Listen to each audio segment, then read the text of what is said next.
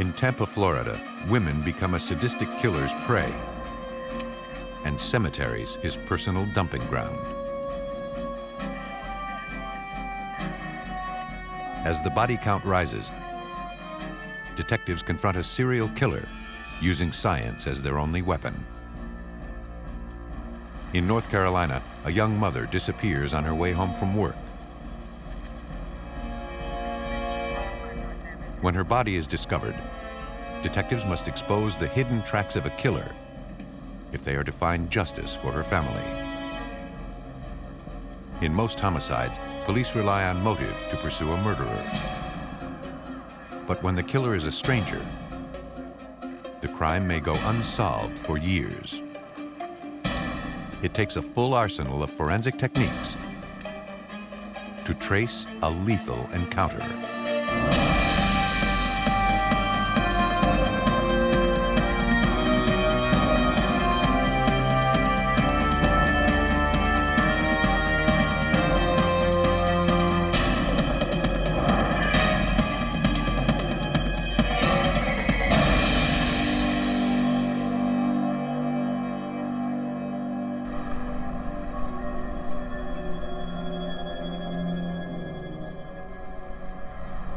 In this episode, some of the names have been changed.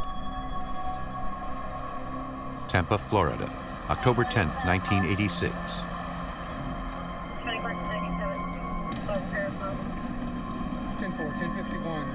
Detective Robert Parrish received a disturbing call. A jogger had discovered the nude body of a young black woman at Centro Espanol Cemetery.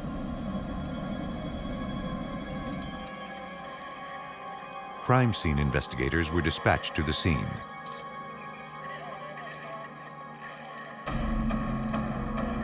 As they set up a perimeter,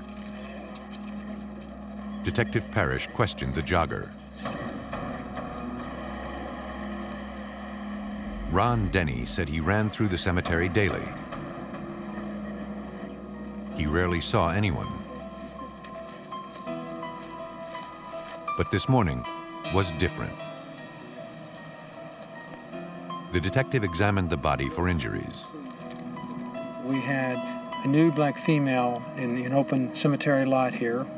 We found no signs of any cutting or stabbing, anything, no open wounds like that. She did have a fine mist of blood on her right side, it appeared to come out of her nasal area. This indicating that she had uh, died either by blunt trauma or by asphyxiation. Based on the condition of the body, it appeared the victim had been murdered less than 12 hours earlier. More than enough time for the killer to flee. Detective Parrish knew it would be a difficult case. They had to conduct a thorough search of the crime scene. As they photographed the victim, they noted she was barefoot. Oddly, the bottoms of her feet were clean. The ground was moist. She couldn't have walked to this location, and investigators saw no evidence she was dragged. The victim's personal effects were scattered all over the area. Each piece was numbered and cataloged as potential evidence. We found her panties and top and her wig scattered throughout when we did a crime scene search.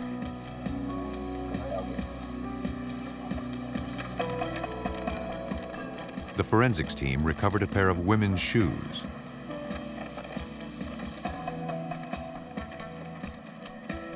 There were also beer bottles and a cigarette pack. But there was no wallet or driver's license to identify the victim.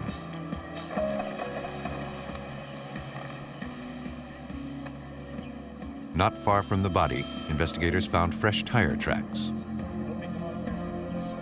Detective Parrish surmised the victim had been killed elsewhere and dumped in the cemetery.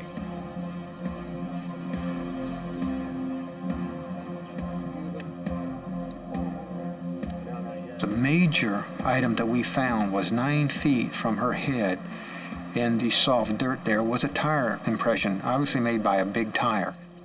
Additionally, off 46th Street here, we had tire tracks coming in and what appeared tire tracks leaving. A large vehicle, a truck or an SUV, made the tracks. Technicians made casts of the tread prints using plaster. Based on the condition of the body, investigators were confident a vehicle had been involved in the crime.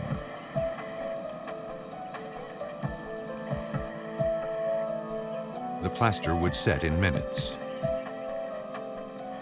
But it would take days to determine whether the tracks were significant.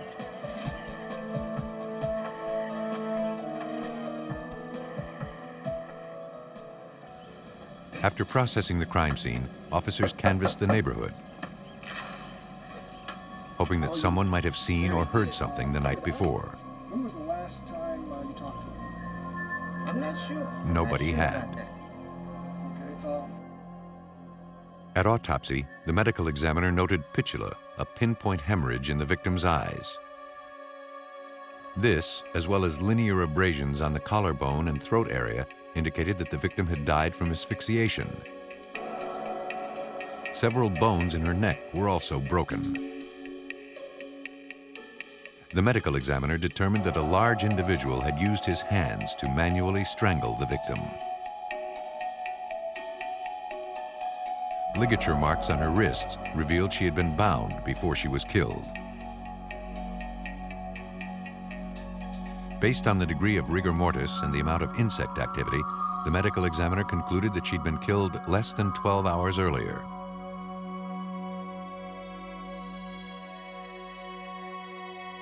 Strands of the victim's hair were collected. In the event a suspect emerged, it was possible a strand of her hair was still in the suspect's vehicle. Identifying the victim was their next priority. Fingerprints were taken and run through the Tampa Police database.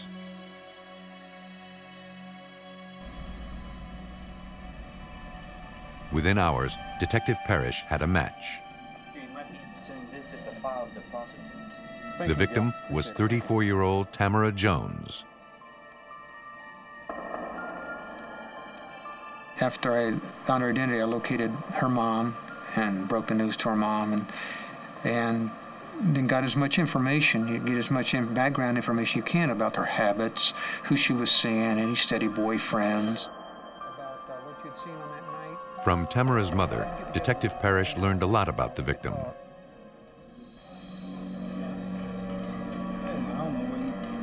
She had been an outgoing girl, full of promise, until the lure of crack cocaine reduced her to a life of painful addiction.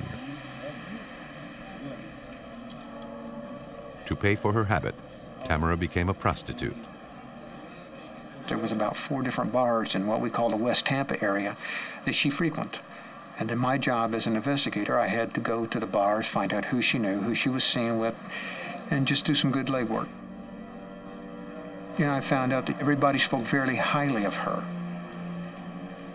All the people I interviewed said that she was a, a very good girl and she was a very good individual. Yeah, to your But. Tamara's life on the streets put her in contact with a lot of unsavory characters. No one that the police talked to was able to pinpoint a suspect in Tamara's murder. Detective Parrish hit a dead end. He now looked for clues in other unsolved homicide cases. Not only from Tampa, but in Hillsborough County and surrounding cities. It took a week to review two years' worth of homicide files, looking for similarities. In the end, Detective Parrish was stunned by what he found. Detectives had been working on several of the reports of previous homicides and similar type victims. We had other black females. They were um, known prostitutes. They were found in cemeteries. They were nude. They were all strangled. They had uh, ligature marks around their wrist, which means they had been uh, either tied up or a, a, a restraining type device used on their wrist.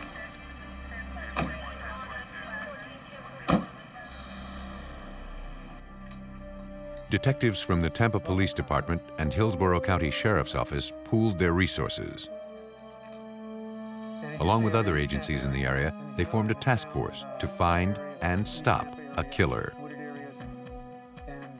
But the lack of physical evidence found at each of the crime scenes and the lifestyle of the victims made them difficult cases to solve.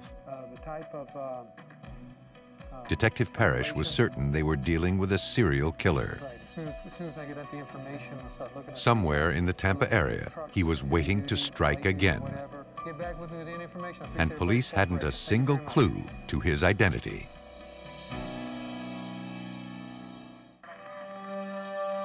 Authorities in Tampa, Florida were certain they were dealing with a serial killer. Two recent homicides bore striking similarities to a string of murders that went back over two years. Detective Robert Parrish knew they needed a suspect. But none of the investigators working the case had even a clue. All the other detectives were obviously involved in the other cases and were at different stages, but you know nobody really had anything concrete that we could say 100% sure.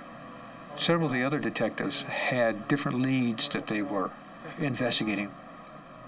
And Garden Memories. News reports about the latest victim caught the attention of a potential witness. A man named Adam Childs contacted police. He told them that he knew Tamara Jones from the Tampa bar scene. He had seen her the night before her body was found in the cemetery. A dark truck approached Tamara on the street. She talked to the man inside.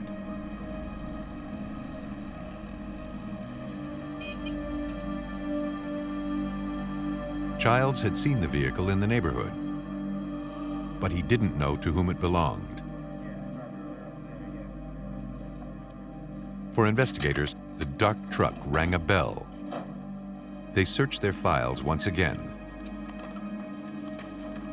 Eight months earlier, a prostitute claimed that a customer in a dark truck had tried to kill her. The woman was afraid to press charges, but she agreed to speak with police about the incident. What happened inside the truck? As she told investigators, a large black man she knew as Big Mike tried to pick her up that evening. They were talking about, um, you know, selling on a price for sex, and then he had uh, grabbed her around the throat and started to choke her. She reached for the doorknob, and then she got out, ran, and screaming through the neighborhood. The police were called, and he had fled the scene. She gave investigators descriptions of Big Mike and the truck he was driving. But she again refused to press charges or to testify against him. Investigators checked their files. Big Mike was the nickname of a Tampa man named Michael Tyrone Crump. Police went to Crump's residence. The suspect was not at home but a dark truck matching the witness's description was parked in the driveway. The officer photographed the vehicle.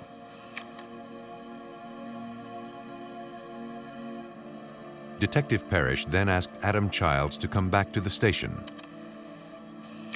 I did what's called a photo pack. I took, um, you know, six uh, different pictures of different trucks, including this individual we now become to label as a suspect. And the witness immediately picked out the truck. Tampa police believed that Michael Tyrone Crump had committed at least two crimes, but they didn't have sufficient evidence to arrest him.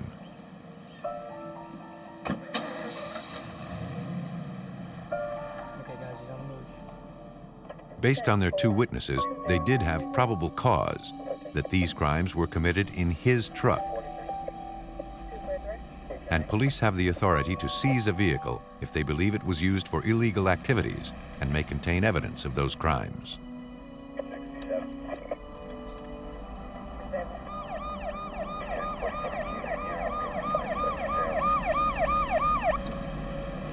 Detective Parrish wanted to seize Crump's vehicle in a public place when it was on a public roadway. We stopped the truck on the city streets and informed uh, the driver, who turned out to be Michael Tyrone Crump, that we needed his uh, truck for evidence. It was used in a recent crime. You can contact me at. When we finish processing your truck, I'll give you a call. Crump remained calm, even when they asked if he knew Tamara Jones. He said no. They informed him that he was not under arrest and that he was free to go. His truck was taken to the Pinellas County Sheriff's impound lot, where it was examined by trace evidence specialist Timothy Whitfield. As a part of searching the vehicle, uh, we were charged with finding any and all evidence that might be in there, from the things that are visible to the things that might be invisible to the naked eye. Investigators first processed the vehicle for visible evidence. They found a woman's earring on the floor of the cab.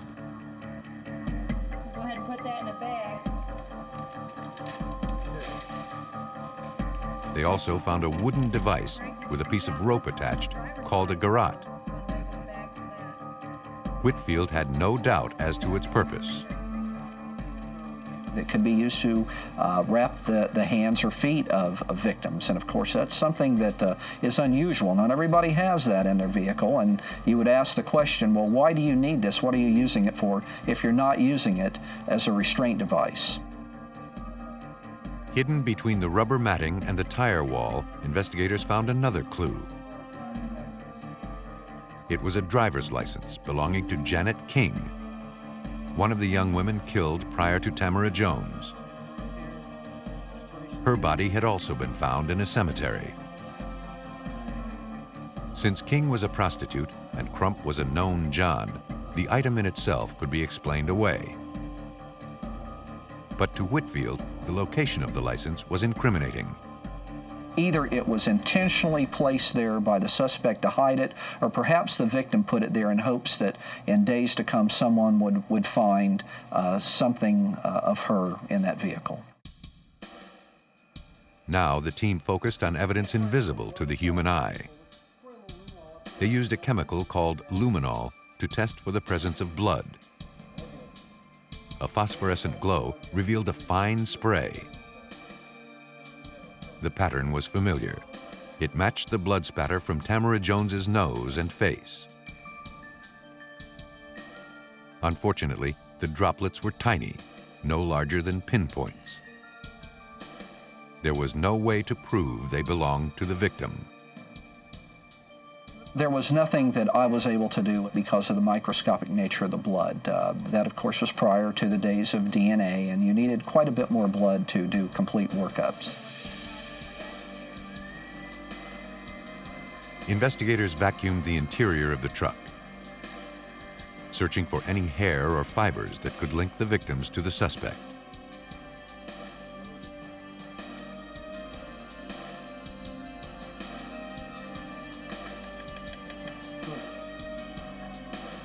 One intriguing find was a long knife hidden behind the front seat of the truck.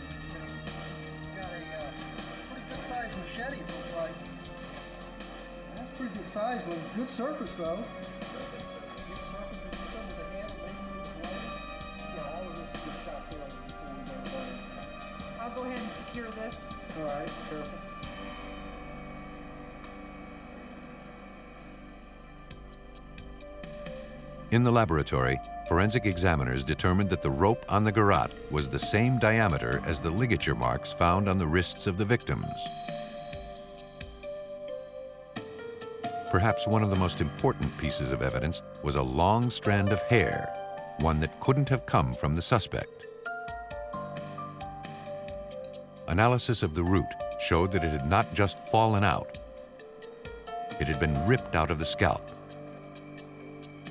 The hair strand was compared to samples taken from Tamara Jones. the color and texture didn't match. When it was compared with Janet King's hair, however, it matched. Both were colored with identical hair dye. Technicians were confident that they had come from the same person.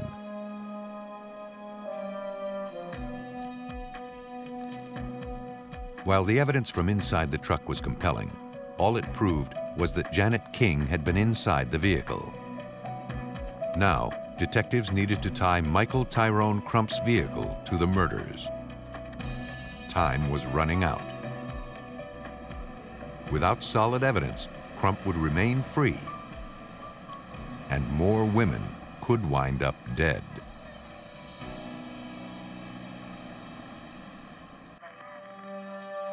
Authorities in Tampa, Florida were certain they were dealing with a serial killer. Two recent homicides bore striking similarities to a string of murders that went back more than two years.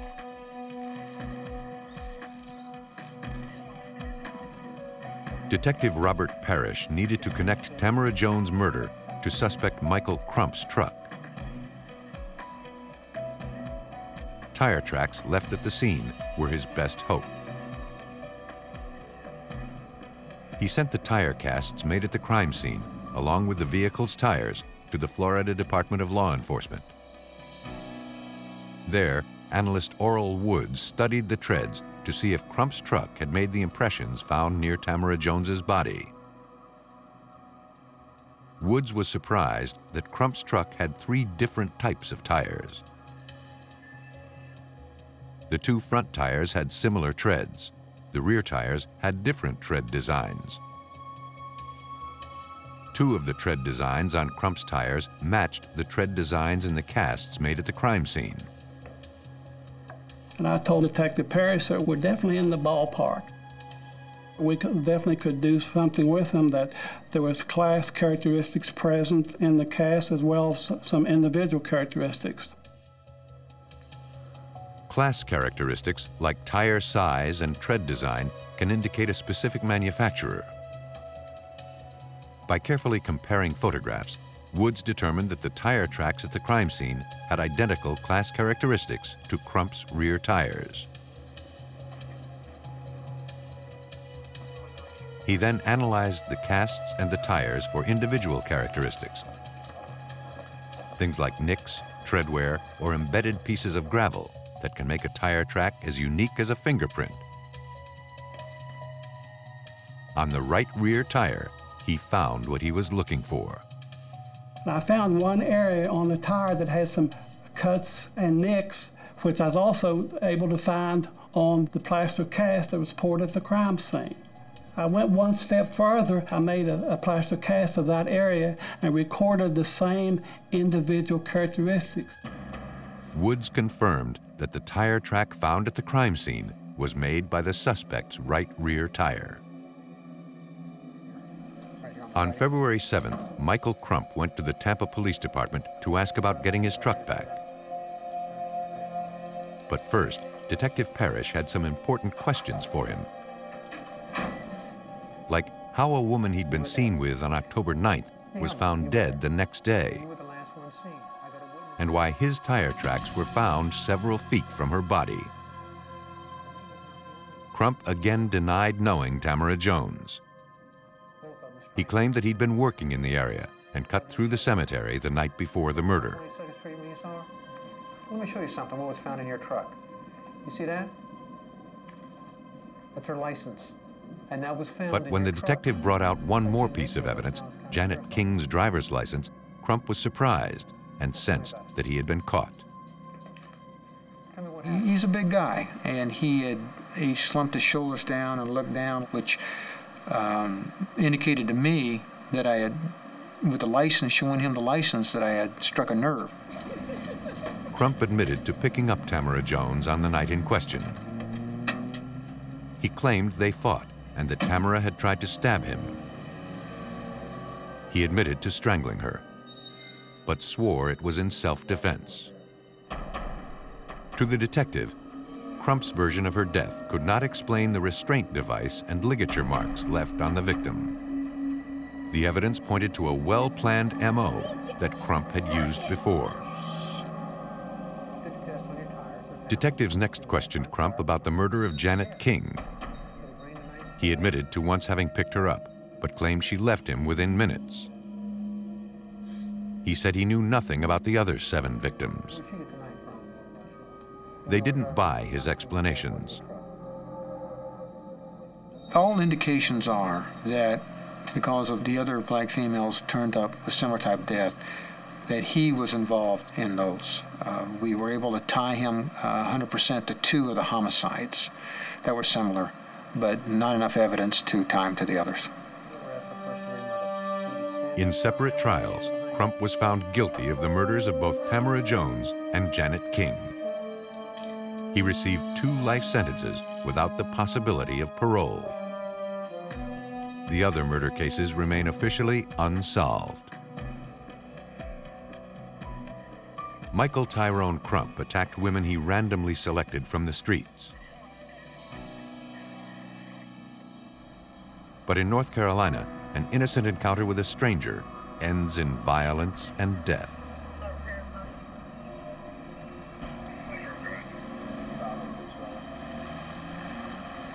On August 8, 1990, a Raleigh, North Carolina police officer responded to a report about a suspicious minivan parked on a side street.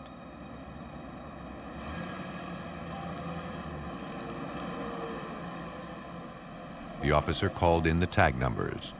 tags Mary Young John 1971. The vehicle was registered to 24-year-old Katie Valoria, an employee at a nearby hospital. The previous evening, Katie's husband had reported her missing. The officer made a gruesome discovery. Inside the van was the new dead body of a young woman. As police cordoned off the area, crime scene investigators arrived on the scene. Detective John Beasley examined the van. Indications were looking through the windows. There was a struggle inside the van based on the fact that her shoes were located in the front part of the van. Her body is in the back of the van. Pantyhose were around her neck. They had been pulled tight. They weren't knotted or anything, but they were they were still tight around her neck. It was obvious she had been strangled. The victim's clothing and purse were missing. There was also evidence suggesting sexual assault. Investigators scoured the exterior of the van for clues.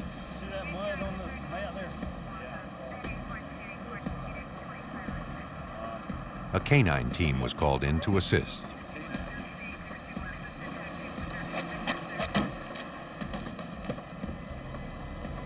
The handler gave the dog the scent and commanded him to track. The dog led the handler down the street and away from the van. Crime scene investigator W.E. Hensley was part of the search team. Basically, it told us that whoever parked that van there, and this early in the morning, got out of the van on the driver's side, went up to the street to the employee parking gate of the hospital. Went by that gate and went to an area where there was a parking space. And that was significant. It appeared the attack had started here. Police searched the area but found no additional clues.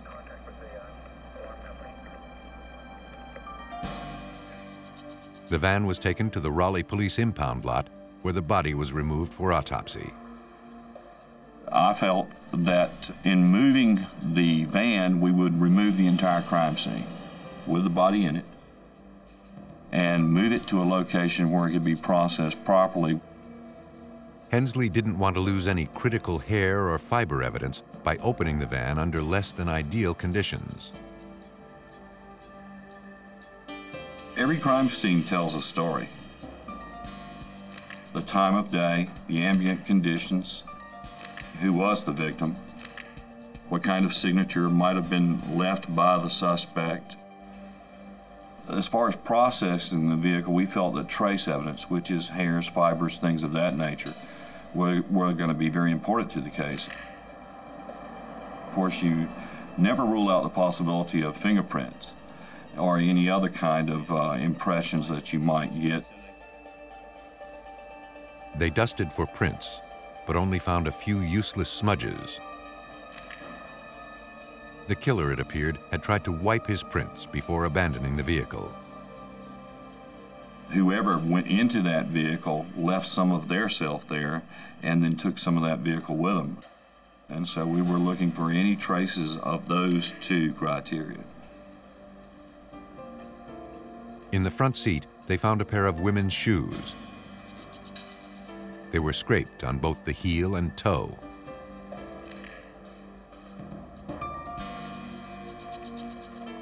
A set of jumper cables was also found in the front seat. The jumper cables indicated that possibly the victim uh, was in the process of helping someone with a, with a vehicle problem, probably in the parking lot. On the driver's floor mat, investigators spotted muddy footprints. There was an impression on these mats. It appeared to be that of a tennis shoe. We felt possibly that may be of value to us. But the mats had to be handled with extreme care. What we had to be concerned with is that the mats are flexible. In flexing the mats or moving them about much, you were going to uh, you were going to actually distort the impression left in mud. So we had to keep them perfectly flat, place them in boxes, and tape them over so that we could transport these without disturbing the, the impressions.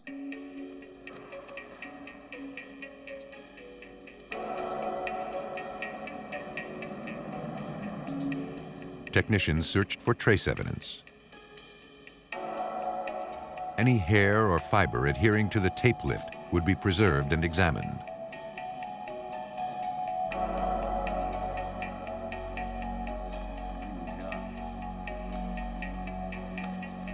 They found some hairs embedded in the ceiling of the van. They were inconsistent with the victim's hair, which meant they could belong to her killer.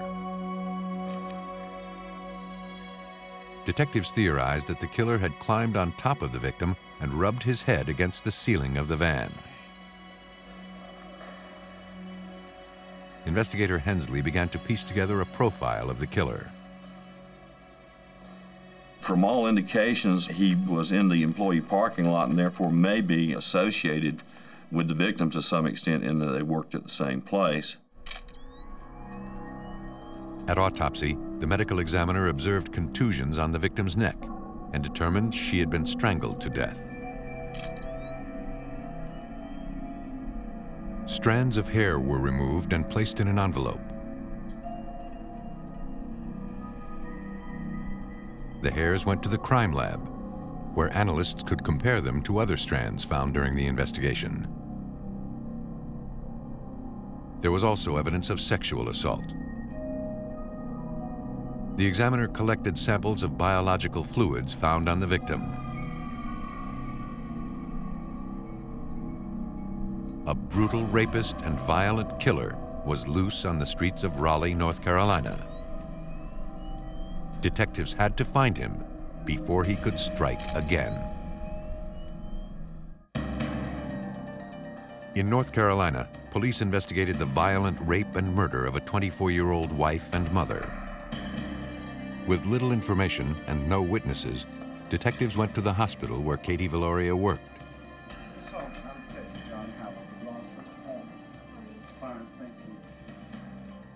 According to her colleagues, Katie was well liked and had no enemies. On the night of her death, she left work just before 6 p.m. The co-worker described Katie as a devoted wife and mother. She got along well with everyone in the workplace. Katie's colleagues said she couldn't imagine Katie having a single enemy in the world.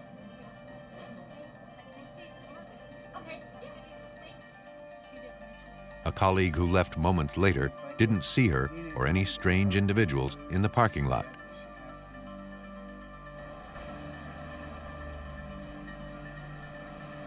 Without any witnesses, investigators would have to try a new approach.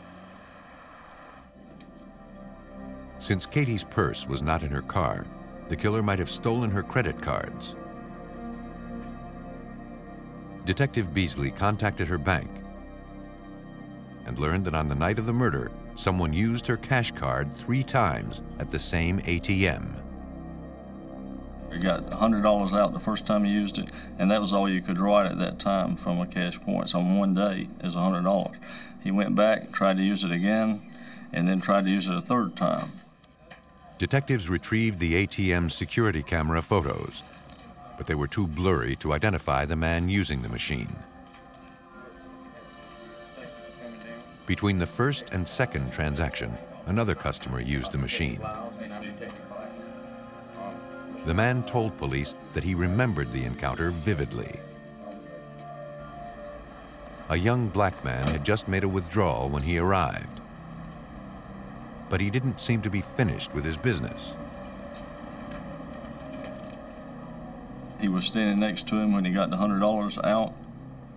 Then he saw the guy try to use the card again. And He said he was acting suspicious because he was wondering why it was taking him so long. He'd already seen him take the money out, so he knew he couldn't do it but one time, and here he is up there trying to use it again. The witness gave a police sketch artist information regarding the suspect's height, weight, coloring, and facial features. Now armed with a detailed description, investigators went to the hospital. Someone recognized the face. It looked like a man who worked in the hospital laundry.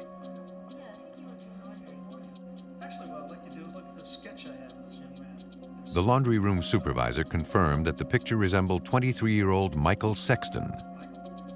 His timesheet showed that he'd been on the job the day of Katie's murder, but disappeared that afternoon. She said he returned around 6.30. He'd been missing for like two hours and all of a sudden he comes running into the hospital, says he's got to go home, he's been having car trouble, and books. And he doesn't show up for work on Thursday and Friday. To the detectives, Michael Sexton was acting like a man with something to hide. But they were still a long way from linking him to Katie's rape and murder. Detectives went to the home that Sexton shared with his girlfriend, who allowed them to search the residence. They collected some of his uniforms and pairs of tennis shoes, according to W.E. Hensley. We collected three pairs of tennis shoes and we took those all into our possession and of course uh, they were marked as potential evidence items and we took those back to our lab to analyze for any possible matches. The suspect's shoes and the muddy floor mats were sent to the Wake County Identification Bureau. There, Johnny Leonard specializes in footprint analysis. There's one thing about criminals. Uh, they may put on gloves, they can put stockings over their faces, but hardly anybody thinks about their feet because that's what you run with, that's what you walk on. So i I always believe that footprints the, is the most overlooked evidence at crime scenes. Leonard studied the muddy footprints, looking first for class characteristics like tread pattern. He then looked for individual characteristics like cuts or gouges. Next, he studied the three pairs of sneakers taken from the suspect's home. Looking at the footprints, I could easily say that two of the sets of shoes did not make those tracks because you can obviously look at them and see that the class characteristics were not the same. But the third pair was a similar size and make as the print from the crime scene. Leonard dusted the bottom of the shoe with magnetic powder. Then, with a wide piece of tape, he lifted the sole design and adhered it to a backing card.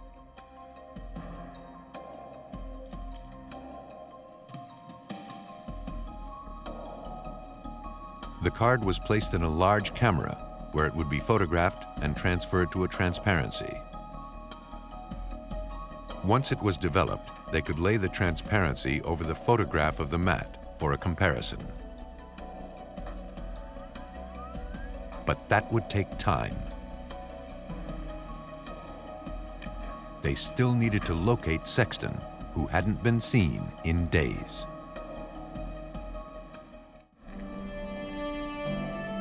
Detectives in North Carolina worked around the clock investigating the brutal murder of 24-year-old wife and mother, Katie Viloria. A man named Michael Sexton had been identified as a suspect, but had yet to be located. At the crime lab, latent print examiner Johnny Leonard had lifted latent shoe prints from the evidence taken from the crime scene. He placed a transparency of the suspect's sneaker print over a transfer of the floor mat from the victim's car. Leonard compared individual characteristics and finally found what he was looking for. There was a little cut at the arch of one of the uh, treadwear designs that was present also on the uh, known shoes. So without a doubt, we knew that it was the same, made from the same shoe. Investigators had evidence that tied the perpetrator to the vehicle, but still had nothing putting him in contact with the victim. While latent shoe prints are usually obtained from flat objects at a crime scene, even irregular surfaces can yield the occasional clue. Leonard applied magnetic powder to the upper sole and heel of the victim's shoe. And lo and behold, a very small portion of a shoe track appeared.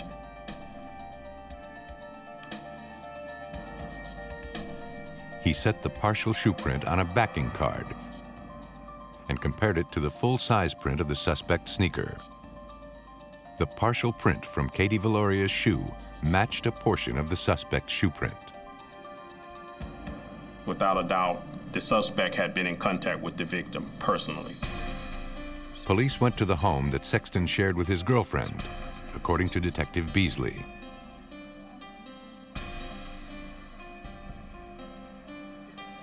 The detectives located Michael Sexton at that point. We told him that we were talking to people at the hospital and it was his turn would he come down and, and talk with us about it, which he agreed to do.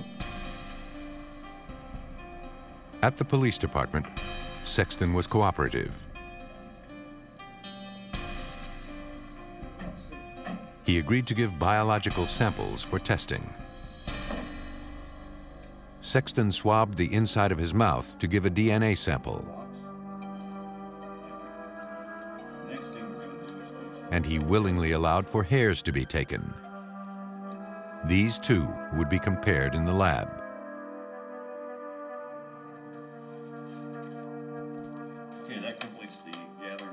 Criminalist Hensley recognized the importance of the evidence. What we were dealing with and what we felt we were dealing with as far as evidence potential in this particular vehicle was blood, body fluids, hairs, fibers, clothing, and uh, those are the things that we concentrated on. Using a comparison microscope, examiners looked for similarities between two hair samples. Color, length, and diameter are among the major features analyzed. The known sample taken from the victim at autopsy and the unknown sample from the victim's van were compared side by side. The analysis confirmed the victim was not the source of the hair found in the van. But when the hair from the victim's van was compared to the sample taken from the suspect, it was practically a perfect match. That wasn't the only evidence placing Michael Sexton in the back of Katie Viloria's van.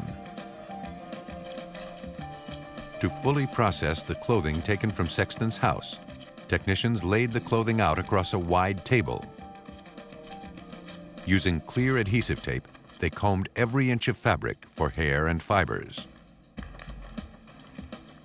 Fibers from the victim's van were found on the suspect's clothing, and fibers from the clothing were found in the van. Investigators still needed to determine if the suspect's DNA matched the biological fluids found on the victim. Certainly the body fluids that we found on the victim's body had the potential for DNA analysis. And they, they are uh, more or less a positive form of identification. Other than fingerprints, if you can't find fingerprints, that certainly is one of the better forms of identification. To analyze the suspect's DNA samples, scientists used a process called electrophoresis to separate specific enzymes out of each sample. Certain enzymes vary from person to person. Electrophoresis utilizes an electric current to separate the enzymes for analysis. The sample is placed in a gel and a current is applied, causing the enzymes to move through the gel. Each enzyme moves a certain distinct distance, creating a pattern of bands. If two blood samples create the same pattern, it's probable they came from the same source. In this case, they matched.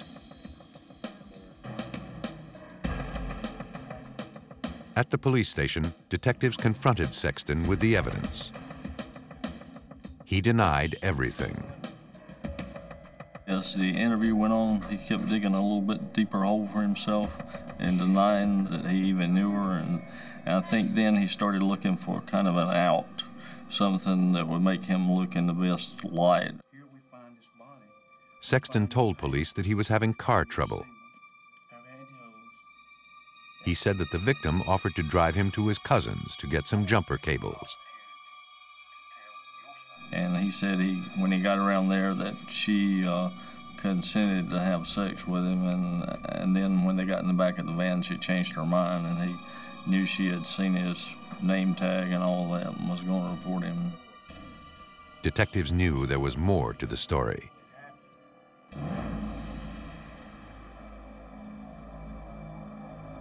They believed that Sexton used his car trouble as bait. Fueled by a criminal appetite, he took advantage of Katie's kindness and overpowered her.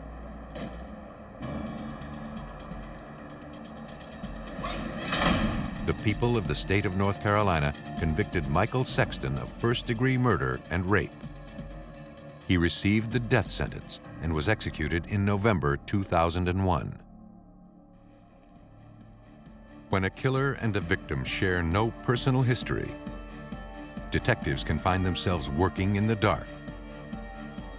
But for investigators committed to finding justice, no piece of evidence is too small. Today, forensic science can uncover a murder and bring to light evidence of a lethal encounter.